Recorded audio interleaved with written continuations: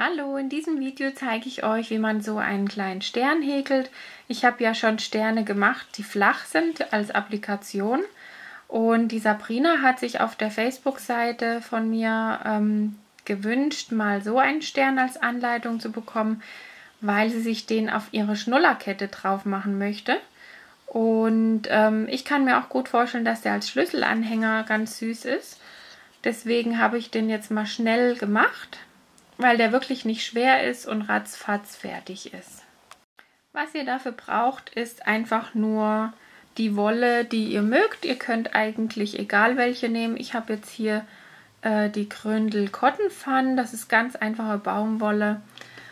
Und ähm, dazu nehme ich die 3,5er Nadel.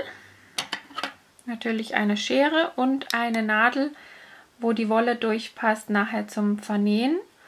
Hier außen werden dann beide Seiten zugenäht.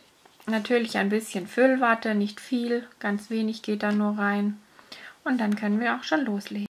Wir beginnen mit einem Fadenring.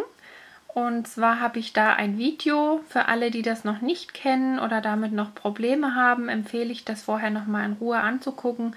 Das verlinke ich euch hier oben rechts und auch unter dem Video in der Beschreibung nochmal. Ich mache dazu einfach ähm, den Faden um den Finger und gehe unter beide Schlaufen drunter, hole mir den Faden hier nach oben, ziehe den Finger raus und mache eine Luftmasche. Na. Und in diesen kleinen Ring häkelt ihr fünf feste Maschen. Also einfach einstechen, Faden hochholen und beide Schlaufen abmaschen. Das Ganze insgesamt fünfmal. Drei. Vier. Und fünf. Dann könnt ihr hier euren Faden leicht lockern und zieht an dem Restfaden hier unten euren Ring fest. Ich mache da immer meine, meine Häkelnadel dazwischen damit sich beide Schlaufen gleichmäßig zuziehen. Nur so ein kleiner Tipp am Rande. Dann haben wir hier unsere erste Masche.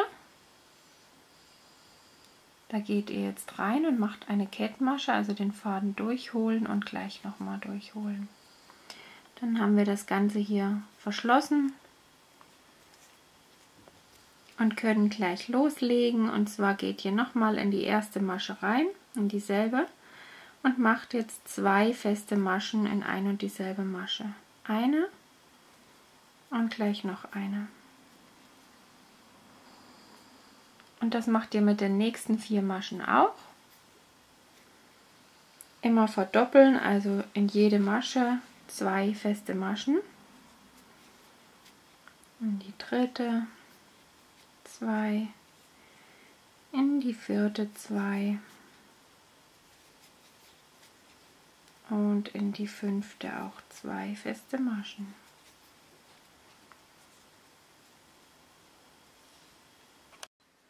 Dann stecht ihr wieder in die erste Masche ein, um mit einer Kettmasche die Runde abzuschließen.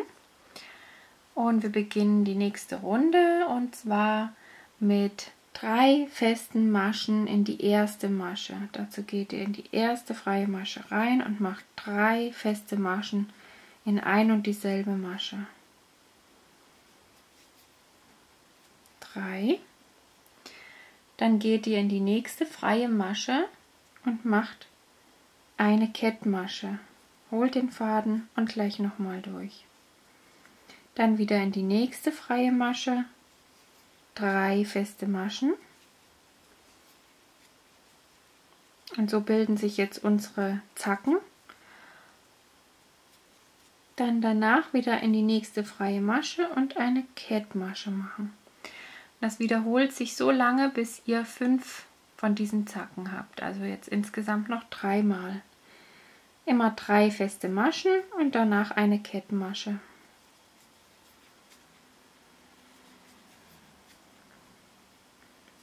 Dann wieder eine Kettmasche und in die nächste wieder drei feste Maschen in eine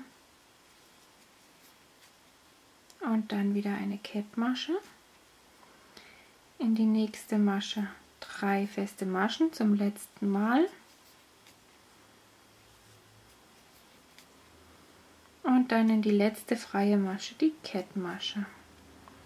Das war diese Runde. Zwar war das die dritte Runde. Danach müsstet ihr 20 ähm, Maschen insgesamt haben. Die vierte Runde beginnen wir mit einer festen Masche in die nächste Masche. Dazu geht ihr hier rein, macht einfach eine feste Masche.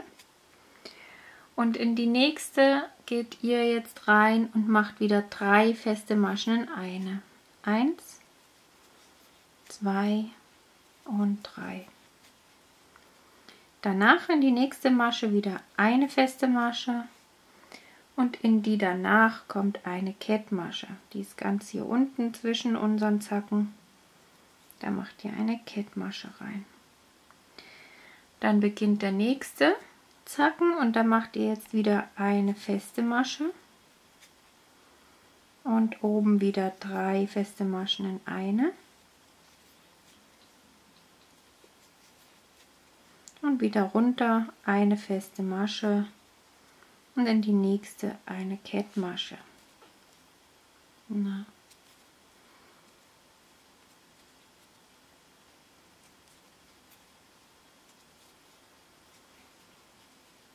dann wieder neu anfangen, eine feste Masche, in die nächste drei feste Maschen,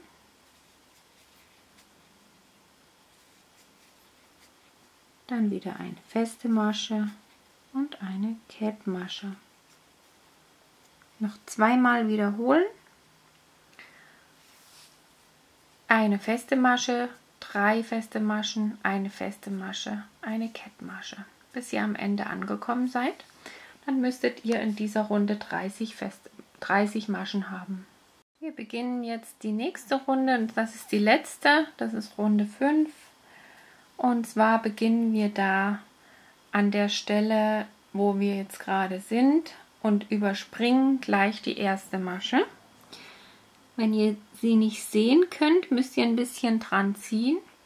Dann müsstet ihr die Maschen einzeln auch gut sehen können. Das ist die hier, die überspringen wir und stechen erst in die danach ein, in die zweite Masche und machen eine feste Masche. Gehen dann in die nächste Masche rein und machen fünf feste Maschen in eine. Eins,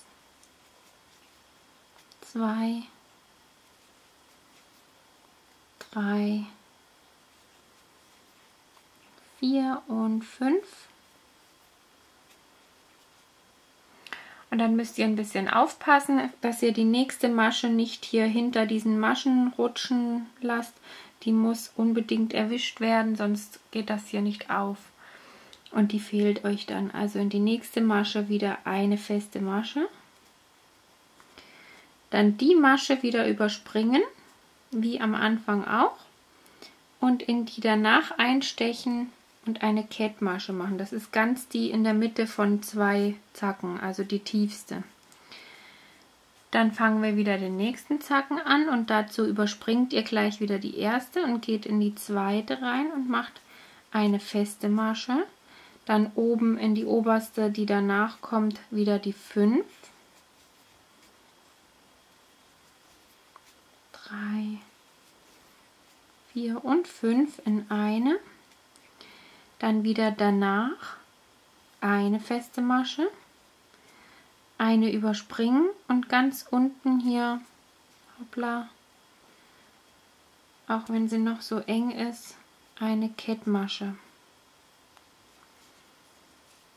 Und den nächsten auch wieder überspringen und in die danach eine feste Masche in die danach fünf feste Maschen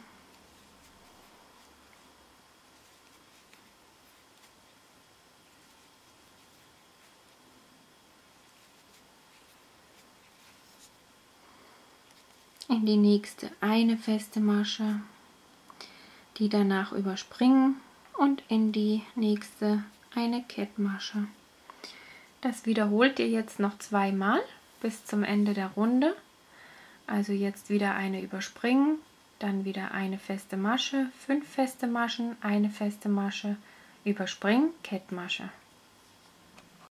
So, ich habe die Runde fertig, habe jetzt eine Kettmasche gemacht zum letzten Mal. Und dann könnt ihr hier lockern. Und beendet den Faden. Ihr könnt den jetzt hier hinten, wenn ihr wollt, das ist eigentlich nicht mehr nötig, aber ihr könnt den so ein bisschen verknoten, aber um Himmels Willen nicht festziehen, weil dann verformt sich der Stern, sondern nur ganz locker dass sich unser magischer Kreis hier, dieser Fadenring, nicht mehr lösen kann. Nur ganz locker am Rand verbinden, dass das jetzt fest ist an der Stelle. Dann könnt ihr die aber hängen lassen, weil die stopfen wir alle rein. Die werden dann mit versteckt in der, Mitte vom Stern.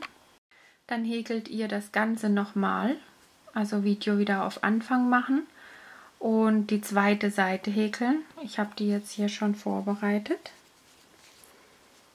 Und dann könnt ihr bei dem zweiten Teil den Faden sehr lang abschneiden, weil den benutzen wir dann gleich, um den Stern zusammenzunähen. Und wenn ihr soweit seid und beide Hälften habt, legt ihr die links auf links aufeinander. Macht diese ganzen Restfäden erstmal schön hier in die Mitte Und dann beginnen wir den Stern zuzunähen. Dazu einfach schön übereinander legen, dass ihr Masche auf Masche habt. Und dann geht ihr einfach in die äußersten Randmaschen und näht das Ganze zusammen. Bedenkt dabei, dass ihr eine Stelle offen lasst, erstmal um das Ganze zu füllen. Und dann wird der Rest dann auch noch komplett zugenäht. Also einfach am Rand entlang in jede Masche einstechen und erstmal zunähen, bis auf eine Stelle, die offen bleibt.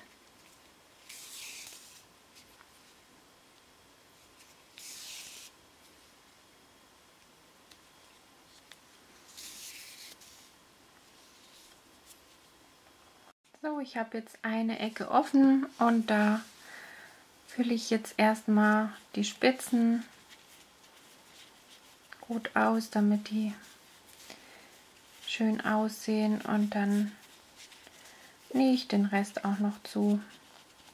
Könnt auch ein bisschen nachhelfen mit dem Ende von der Häkelnadel, dass das ordentlich in den Spitzen landet.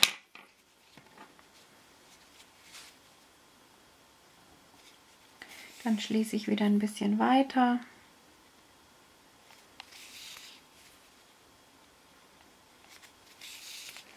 Und fülle mir den Rest auch noch ein.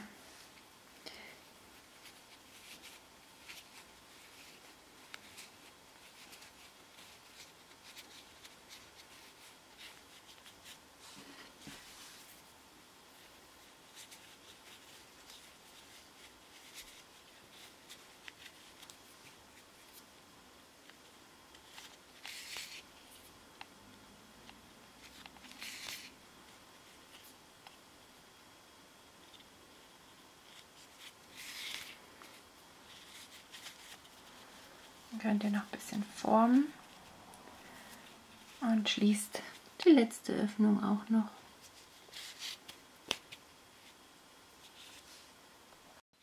Dann könnt ihr da noch einen Knoten reinmachen als letztes, damit sich das Ganze nicht mehr löst. Und stecht einfach hier irgendwo ein, kommt irgendwo raus. Dann könnt ihr den Faden vorsichtig abschneiden. Und schon ist unser Stern fertig.